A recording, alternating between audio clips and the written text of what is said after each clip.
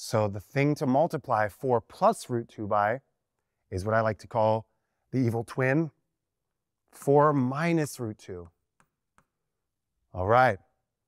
So they're kind of twins, but one's positive, one's negative. And these are technically called conjugates, right? When you have binomials like this, two terms. It's fascinating to actually see, even to this day, after so many years, that this actually multiplies through and becomes no more radicals. That is grammatically incorrect, but it doesn't matter. We're doing math. 2 distributes. Here we go. 2 times 4 is 8.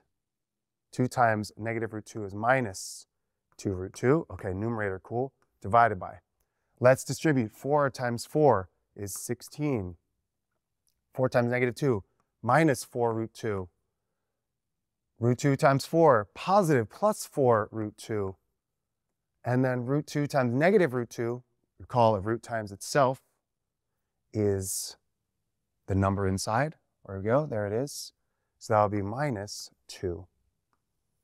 All right. Negative 4 root 2 plus 4 root 2 goes to 0. Bye. So we have 8 minus 2 root 2. Little tradition at home with our kids. They're like, bye. I just did it now, showing you the love. I notice factors. And we have 4 minus the square root of 2 all over 7. Or some teachers prefer that you divide into both. You could say 4 sevenths minus root 2 over 7 as well. Take a breath. Onward. Let's go.